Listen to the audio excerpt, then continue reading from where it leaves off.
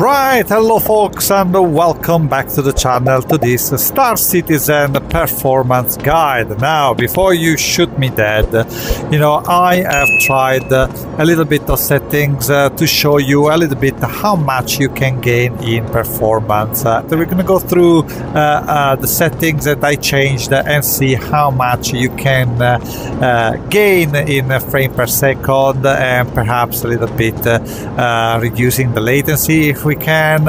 But uh, yeah, without losing uh, uh, time too much, I'm gonna show you right now the very first thing you have to do when you play Star Citizen in VR, and this is uh, basically activate Space Warp and to do that you go uh, in virtual desktop setting. I'm assuming you're using virtual desktop because otherwise that would be a problem.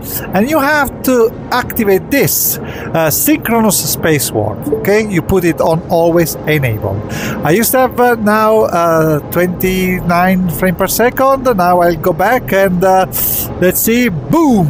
We have uh, 55 60 fps okay because this space warp is a sort of frame generation. Obviously, as you can see, the latency spiked from 90 milliseconds to 111 milliseconds, but you know, uh, you have to sacrifice something. But let's see if we can get more improvement uh, uh, changing the in-game settings, which now I, I'm going to show you. So the first thing I did was obviously to go into the graphic settings and without even thinking twice, you have to go to the quality preset and select everything on low.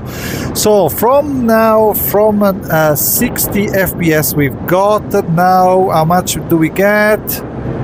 Nothing freaking changed, which is very, very weird. But anyway, the latency at least is reduced a little bit uh, to 102 milliseconds. Oh, look, look, we're having it looking in this direction 61, 63 FPS. Wow, wow, wow. So we are, we are uh, improving a little bit the situation.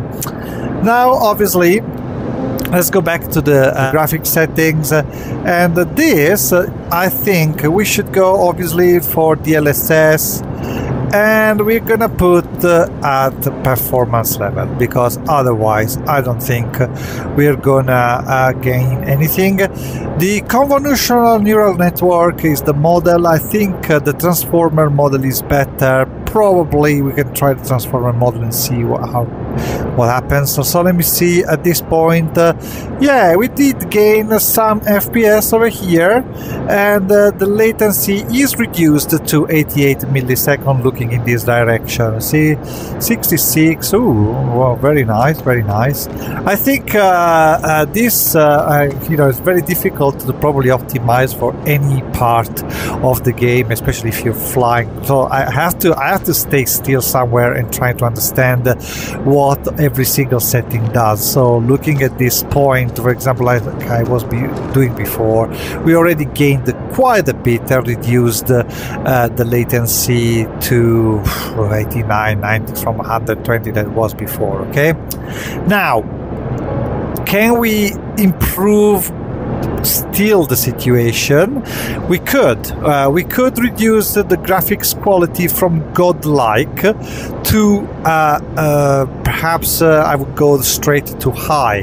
Otherwise, we would um, have some problems. So bear with me because I have to reboot the game and I'm gonna start the game from this position and see what happens. So remember this, uh, now we're getting 67, 68, looking in that direction, uh, okay, with the godlike. It still didn't change. We're gonna do the same thing now, rebooting the game and see with the graphics quality on high how much we gained. Right, so as you can see, uh, changing the resolution from uh, uh, godlike to high graphics quality, it didn't bring us uh, many changes. But actually, as you can see, I can uh, look in this direction. I can uh, see an increased uh, um, latency in the game thing.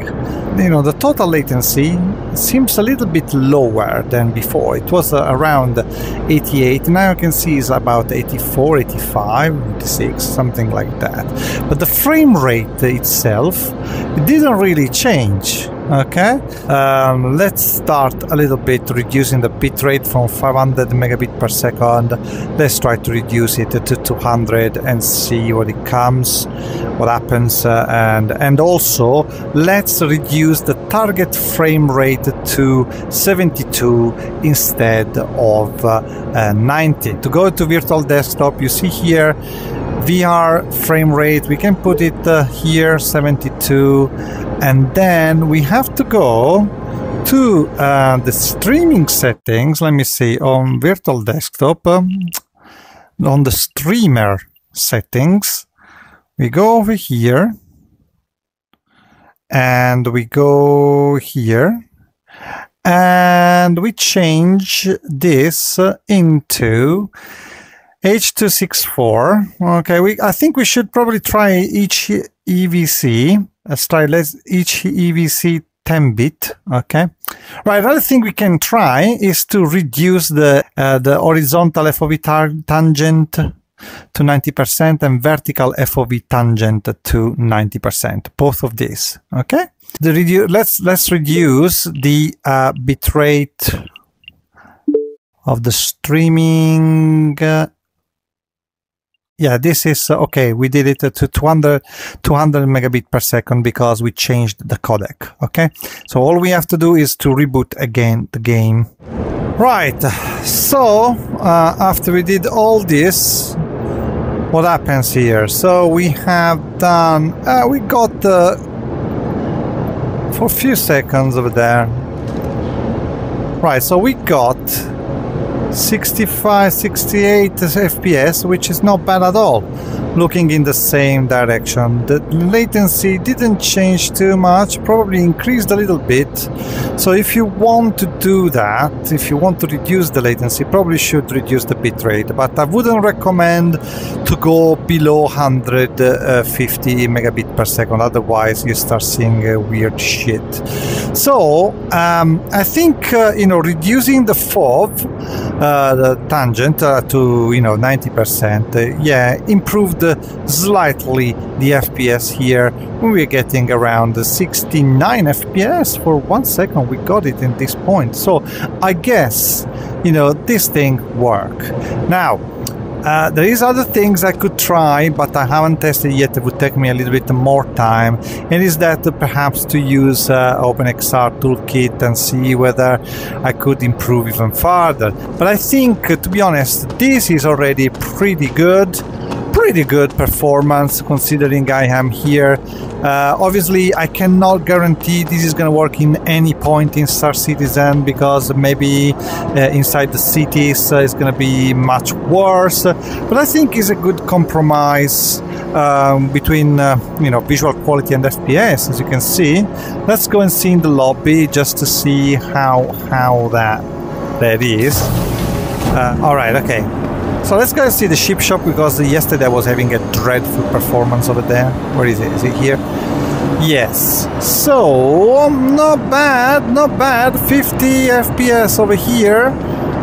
Because, yeah, 55, not bad at all. Not bad at all. Let's go and see that place here that was terrible yesterday okay okay we are getting massive drops here 37 but honestly it was much worse yesterday so I can feel it's worse here but yeah 118 millisecond of latency is just just terrible. But yeah I mean I mean I understand it. Uh, it's like this you know there's much there isn't much you can do at this point here. Uh, so you have to deal with that uh, that in this area you're gonna have massive frame rate drops okay? But I, I'm pretty sure that uh, probably in space you're gonna get 72 FPS uh, uh, pretty much constant perhaps. Okay? Haven't tested it. But please try let me know in the comments uh, how these settings work for you. If you have any suggestion please do let me know in the comments down below and uh, i hope this video is helpful to you at least uh, a little bit. If so please like and subscribe and i will see you next time. We are dead signing out